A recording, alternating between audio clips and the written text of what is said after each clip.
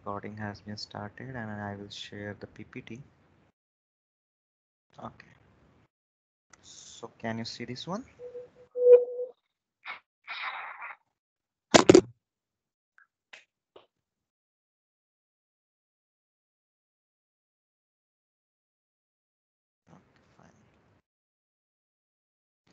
So we started with Biot-Savart law. Okay, we had this expression which give which gives us the small amount of magnetic field intensity dH bar. Okay, in terms of the current, the filament length, and the direction of a vector from source to the observation point. Then we applied the Biot-Savart law for two conditions.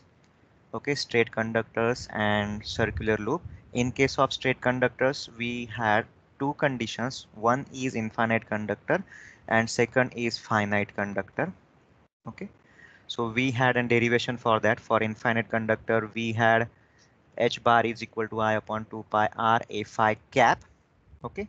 Where a phi cap is nothing but a normal unit vector, which is a resultant of the unit vector along the length of the conductor and a unit vector along the directional vector in between the source and the observation point. Okay, so in general, we can write down h bar is equal to i upon 2 pi r a n cap. Then we applied h bar to so uh, to apply Biot-Savart law to an finite conductor where we had this kind of weird looking expression. Okay, sine of alpha 2 minus sine of alpha 1 a phi cap and we do have understanding of those alpha 1 and alpha 2 okay those are the angles with the bottom end and the top end of the filament or conductor okay so while taking these alpha their notations we have to take their notations very care very carefully okay if point p is above then uh, we have alpha 1 and alpha 2 negative do you remember that इतना याद नहीं रखा तो भी चलेगा Always do remember that if we have this perpendicular line from the observation point to the source okay ye perpendicular line hai. If we have alpha going up way okay going that is let us say um, what i will say that p is below the lower end okay. So in in in general if alpha is going up way it is positive and alpha is going down way then it is negative इतना याद रखो इतना आसान रहेगा याद रखने के लिए तो let us say कि ये 30 डिग्री आ गया so while putting down it into formula sine of alpha 2 minus sine of alpha 1 what you are going to do sine of minus 30 degree and let us say कि ये 50 degree है okay so in this case you will write down sine of 50 degree okay so you have to take care of this positive and negative sign conventions of the angles then we applied h bar to the circular loop and we had an again a weirdly looking expression okay h bar is equal to i r square upon 2 r square plus z square raised to 3 by 2 a z cap this can be asked as a 2 mark or 3 mark mcq कि भाई h bar along the axis of a circular loop on the axis क्या होगा तो directly आपको are दिया होगा Z दिया होगा and you will be ask to calculate the amount of magnetic field intensity generated due to and current carrying circular loop okay तो ये अगर फॉर्मूला आपके पास हैंडी होगा, याद होगा तो definitely you can solve that MCQ और न्यूमेरिकल और how you can arrive at the formula by doing the derivation, but that is not really suggested. Okay so better to have this formula as a short note in your list of formulae. Then we went for ampere circuital law. Biot law talk about generation of magnetic field intensity due to certain amount of current.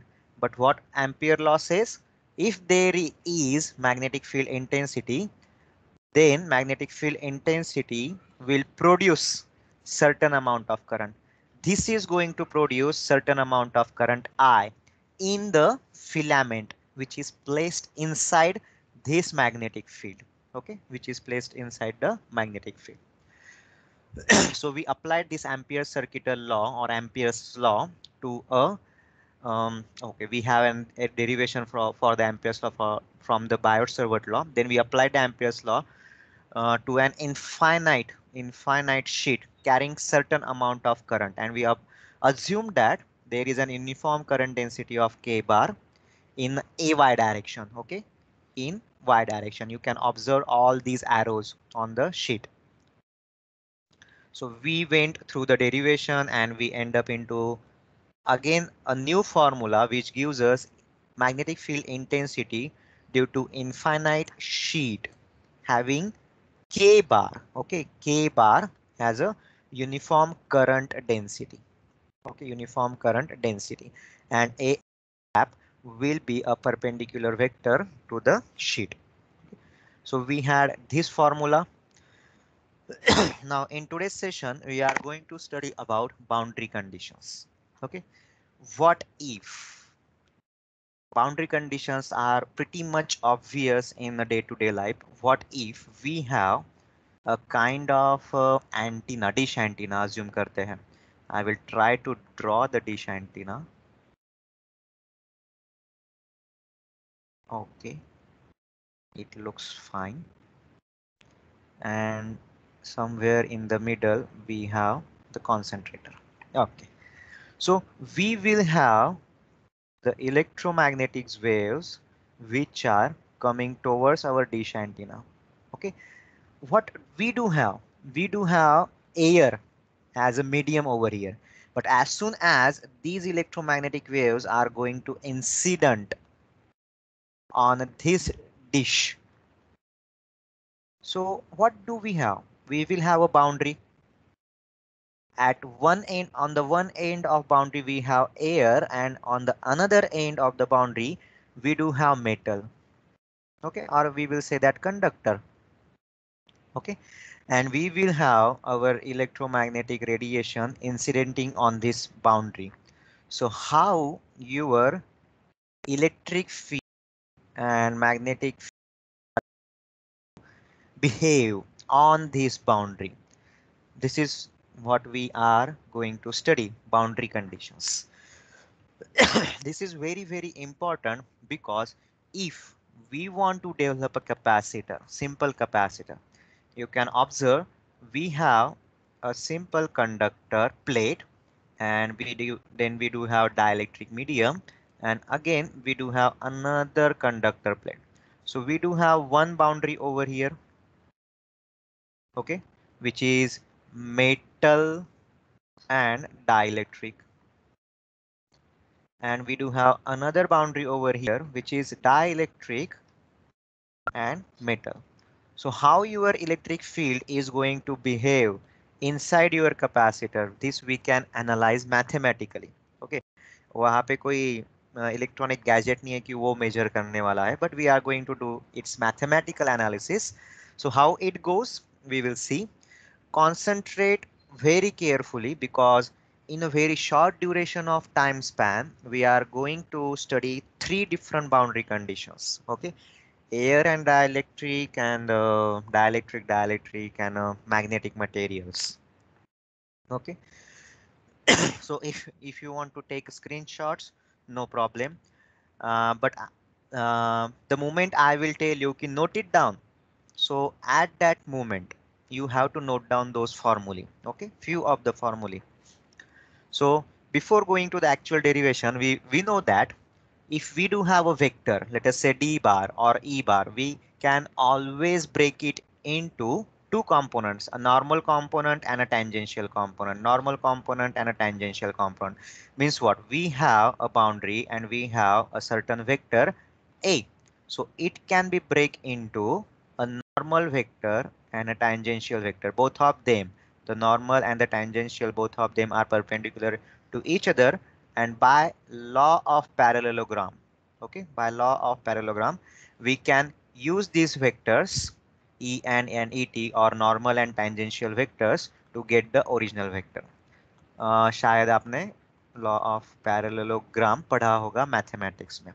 Okay, this is a kind of simple mechanics we used to do uh, in first uh, in diploma first year physics and in mathematics as well. So do, do remember that any vector can be break into its normal and tangential components. First point. Okay.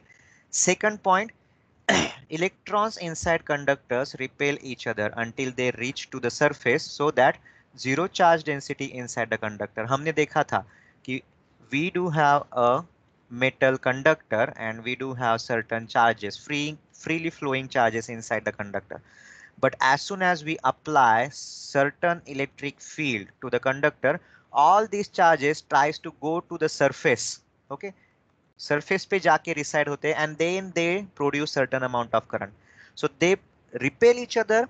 They go towards the surface, which is also called as a skin effect okay they go towards the surface and inside inside the conductor we actually don't have any free flowing electrons free flowing charges अंदर में कोई नहीं रहता okay all the charges are along the surface along the surface of the conductor so we can say that elect since there are no charges inside the conductor electric field inside the conductor is zero okay A important hai electric field inside the conductor is zero so let us go with the first boundary condition uh, okay uh, let us go with certain procedure step number one ये जो तीन conditions पढ़ने वाले हैं इसमें यही steps use करने वाले हैं step number one we are going to decide tangential component using a defined path in both media मतलब जैसे वो इनफाइनाइट करंट चार्ज के लिए लिया था ना शीट है और वहाँ पे एक लूप कंसिडर किया था।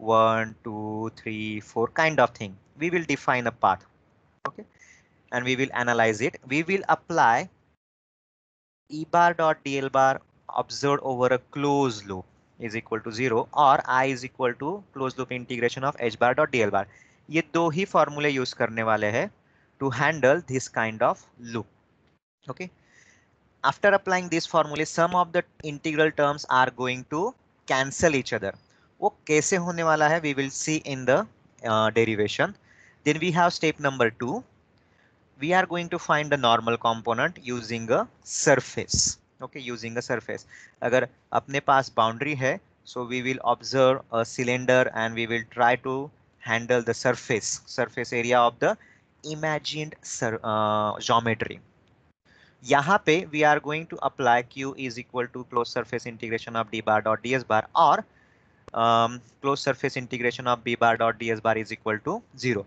ये दो ही फॉर्मूले यूज़ करने वाले हैं।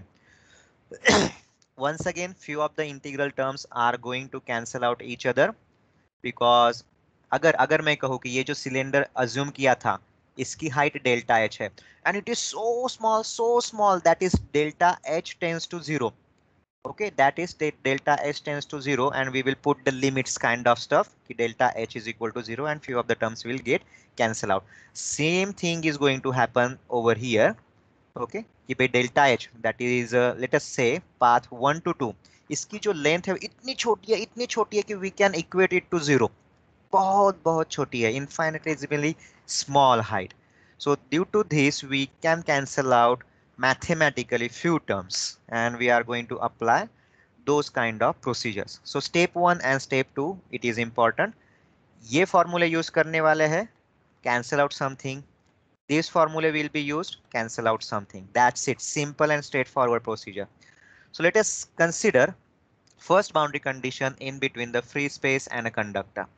Okay. Consider electric field density d bar which is represented as a normal component dn and a tangential component dt. Here this line okay this line is a boundary in between free space and a conductor okay free space and a conductor.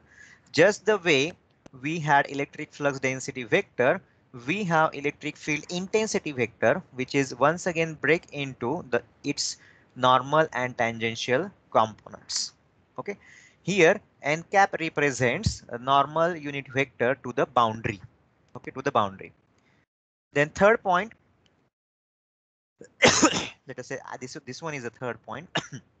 Assume a loop A, B, C, D. Okay, having width delta W, very small width, and having height delta H, once again very small height. Then we do have a cylindrical surface Okay, once again, part of the cylinder is inside the free space and part of the cylinder is inside the conductor having its surface area as delta S and its height it is delta H. All these are our assumptions. Okay, so diagram talks about the assumption. What you are going to do, you are going to draw this diagram in the examination and you will start deriving. आपको ये explain करने की जरूरत नहीं है कि भाई what is D bar, what is E bar, okay? Then um, what what is A, B, C, D, what is this cylinder, what is this cylindrical structure. You need not to explain, but you have to draw this diagram very carefully and uh, describe every dimension over here itself. In short, draw the diagram as it is. okay, we will go now for identifying components. Okay, so we have E bar dot DL bar is equal to zero if at all we are integrating it on a close loop अगर ये close loop integration नहीं रहा तो ये quantity zero नहीं होगी okay so we can break this one on our assumed loop so loop from one to two then two to three dash what we have done over here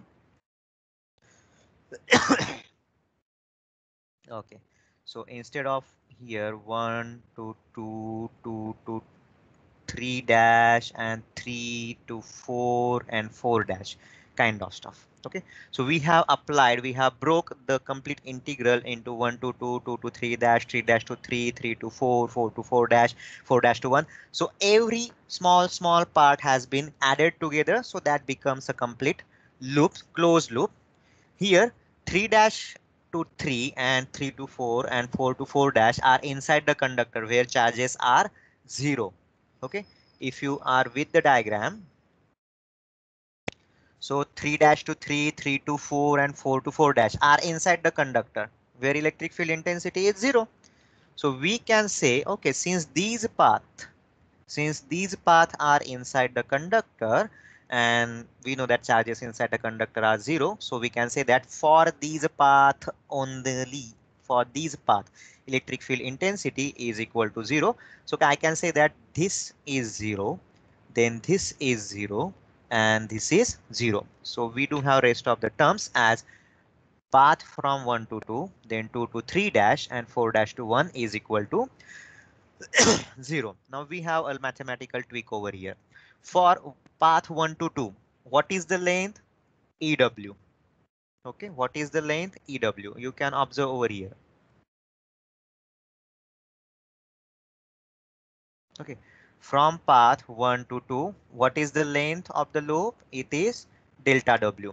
And this path this path is parallel to the tangential component et okay? This path 1 to 2 is parallel to the tangential component et so we can write it down as for path 1 to 2 we have et delta w then for path 2 to 3 dash okay for path 2 to 3 dash, we have En cap.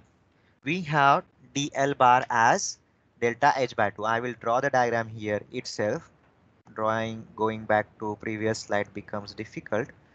Okay, 1, 2, 3 dash and 4 dash. Okay, so this was delta w. Okay, then uh, the complete this one was delta h and we had ET and EN going upside because we assumed E bar in this way. Okay, for 1 to 2, the, we know that this line is parallel to ET, therefore we have assumed ET. 2 path has a length delta W, so therefore we have written delta W. For path 2 to 3 dash, only this much path. Okay, since this is half of the total height, we can write down, okay, this is delta h by 2 and this line is parallel to En. So we have En and we have this negative sign because we are traveling from 2 to 3 dash sorry 2 to 3 dash which is in opposite direction to that of direction of En normal unit vector. तो ये direction opposite है इसलिए यहाँ पे negative sign आ गया. then for path 1 to 4 dash, for path 1 to 4 dash, once again we have small dl bar length as delta h by 2 and this e this length is parallel to the normal component and both of them have the same direction therefore plus en so we have expressed the complete integrals in terms of its electric fields normal component and tangential component along with its dimensions. Okay? So we can say that now since these two terms cancel out each other et delta w is equal to 0 or we can say that et is equal to 0 first observation mathematical observation. And since et is equal to 0 we can say that dt is also 0 with very very important. We tackled with the tangential component. Do remember that whenever we are going to derive tangential components consider a loop. And whenever we are going to derive normal components a surface okay so let us go for the next part. According to the Gauss law, we know that Q is total, uh, total amount of charge enclosed inside a surface, closed surface is d bar dot ds bar. And we can say that d bar is nothing but electric flux density. So we can say that, okay, rho s delta s, we, are, we have expressed the integral in terms of the dimensions. So we can say that rho s delta s, आपको याद होगा तो we have considered a cylinder. Okay with delta S and height delta H. Okay, so we can say that, okay, rho S delta S that is total amount of charge enclosed by the cylinder is equal to integral of top surface plus integral of bottom surface plus integral of side surface. मतलब तीनों surfaces का addition कर लिया.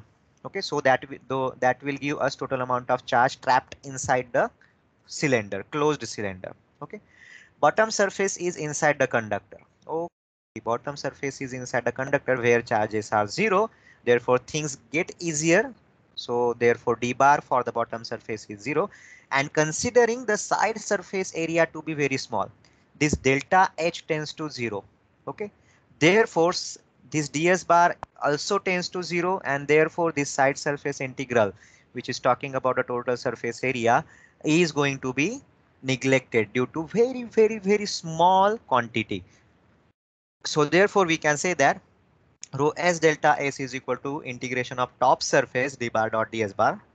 Top surface is inside the free space. OK, free space is nothing but a dielectric medium. So we can say that OK. So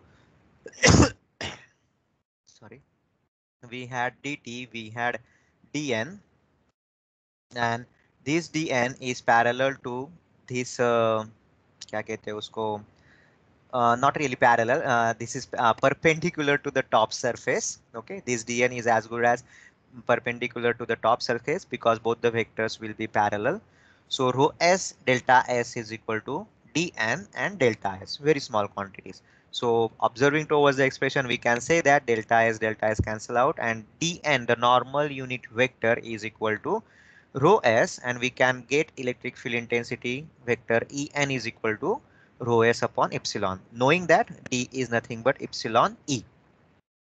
Okay, so dn is equal to uh, rho s. So we can say that okay epsilon en is equal to rho s. That gives us en is equal to rho s upon epsilon. Okay. These are two important formulae so whenever we have a free space and a conductor boundary, we have tangential components of the electric fields and the normal components of the electric fields. So note down these formulae. okay, what these formulae tells us. The static electric field intensity inside the conductor is zero. Very important observation. The static electric field intensity at the surface of the conductor is everywhere directed normal to the surface.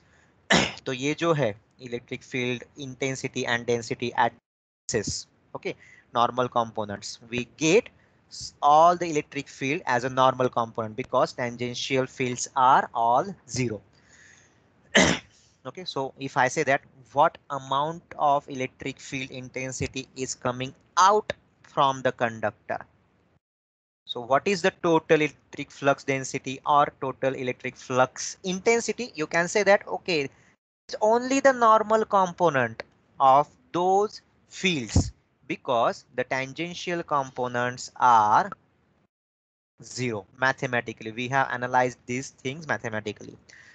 Okay? Let us not note down this formula right now. We will prepare a separate table and we will move on to next derivation where we have dielectric dielectric medium. Same thing is happening over here. OK, path we have certain path and we have certain surface. A path over here and, and a surface over here. We have one dielectric medium and we have another dielectric medium in between. We do have a boundary. OK, we have dimensions delta W and delta H. OK, we have tangential components in both regions.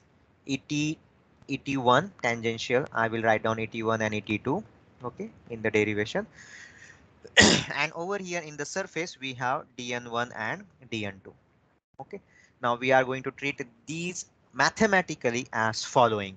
OK, so we have, we will start with closed surface, sorry, closed line integration of E bar dot DL bar is equal to zero.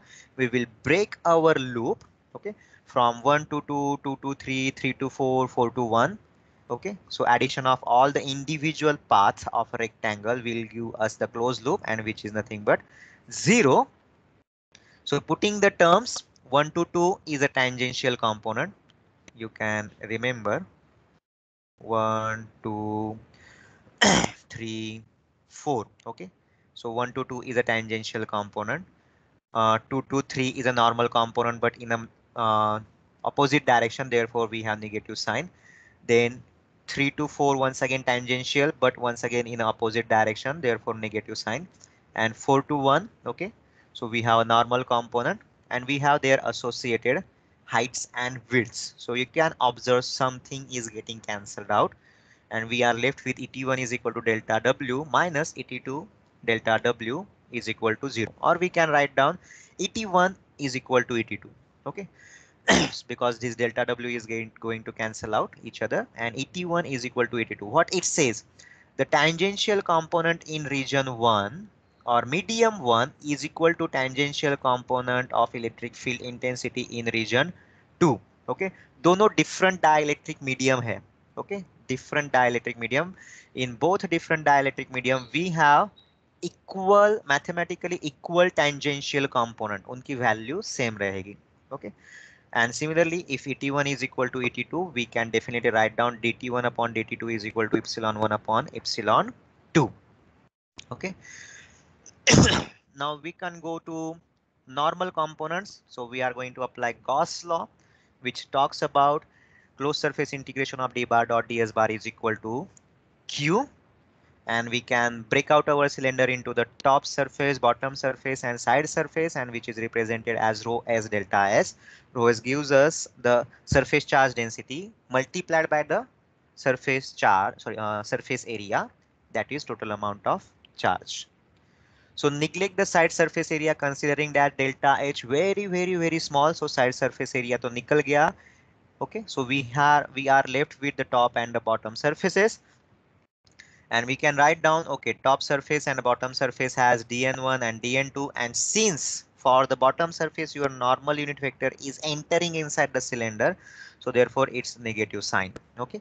So we can do the mathematics over here. Delta s delta s delta s gets cancelled out and we are left with the normal component of d bar minus the normal component of d bar in region 2 is equal to rho s. Simple mathematics and if we assume if we assume rho s is equal to 0 that is surface charge density is 0 why to consider considering no free charges are available in dielectric medium ideal dielectric medium है वहां पे जहाँ पे अपने पास free charges ही नहीं है तो भाई surface charge density zero आ गया so we can say that if we are dealing with the perfect dielectric medium dn1 is equal to dn2 or we can put it down in terms of electric field intensity en1 upon en2 is equal to epsilon 2 upon epsilon 1 okay?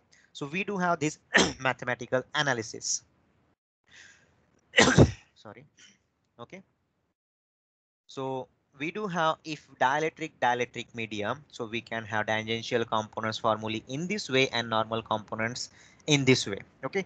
We are going to treat this as a mathematic. Do not try to visualize. These all are mathematical analysis okay? Now the last derivation talks about the boundary condition in between the two magnetic medium having permeability mu1 and permeability mu2 same thing is happening over here. We are considering a loop and we are considering a cylinder okay? There delta s and height is delta h okay? Here once again we will have the length and the width of the uh, loop okay important is we do have now magnetic medium so we have to apply the Biot-Savart's law and the uh, Ampere's law so let us go for Ampere's law for getting the tangential component. So I is equal to closed loop integration of h bar dot dl bar. So let us break our closed loop from path 1 to 2, 2 to 3, 3 to 4, 4 to 1. Okay, this is going to give us total amount of current. Okay, do remember current In a dielectric medium, this quantity, the closed loop integral was zero. This time we have certain value on the other side of equation. Okay, so we can put that okay one two to path tangential component है उसका विर्थ है delta W okay so one two two two to three three to four and four to one delta W delta W and इसका delta H okay height so we can have one two two के लिए tangential है two to three है H N लेकिन opposite direction so negative sign आ गया three to four once again tangential component but one but is in opposite direction therefore negative sign aa gaya 4 to 1 normal component in the same direction so plus hn and all the dl bar is expressed as delta w and delta h okay then we can say that fine okay this term and this term are going to cancel out each other so we are left with ht1 delta w minus ht2 delta w is equal to i and taking delta w as a constant sorry common we can write down ht1 minus ht2 is equal to i upon delta w. Delta w is nothing but the length of that part of the loop. Okay. The ratio of current to the length. This is very important. The ratio of current to the length is called as linear current density denoted by K. ये K हमने visit किया था while applying Ampere's law for infinite sheet carrying certain amount of current. के वहाँ पे भी आया था so we can say that okay ht1 minus ht2 is equal to k or we can say that bt1 upon mu1 minus bt2 upon mu2 is equal to k ये ये कैसे आया uh, we know that b bar is equal to mu h bar so I can say that bt1 bar is equal to we are talking about the first medium mu1 ht1 bar. So I can say that ht1 bar is equal to bt1 bar upon mu1 bar. Oh, sorry mu1 so only only mu1 is a scalar quantity. So bt1 upon mu1 minus bt2 my upon mu2 is equal to k. We have uh, tangential component equation. Let us go for the normal component. Here we are going to apply gauss law which tells us that closed surface integration of b bar dot ds bar is equal to zero. In case of dielectric medium we had something q quantity on one side of the equation. Here we have zero magnetic field intensity so neglecting the surf side surface area why? Because of assumption delta h is so so so so small that it tends to zero.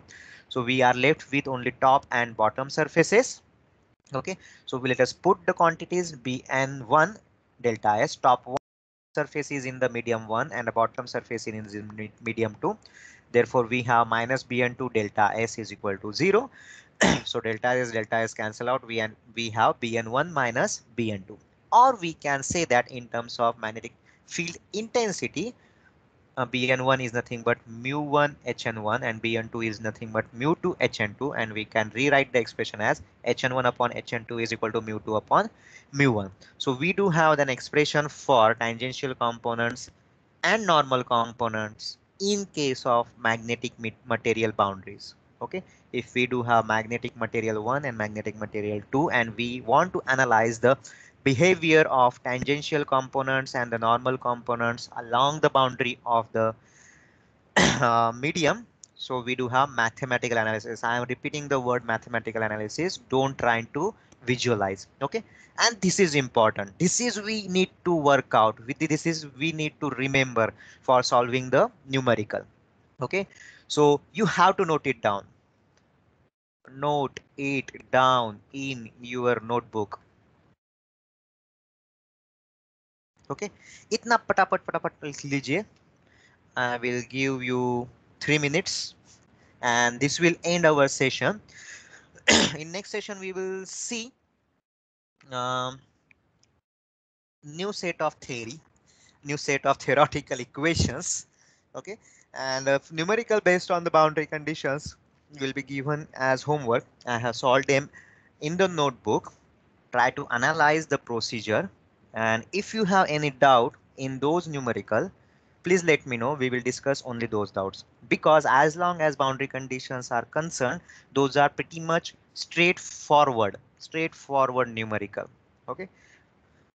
Where you have to apply this formulae along with the understanding of sine theta and cos theta.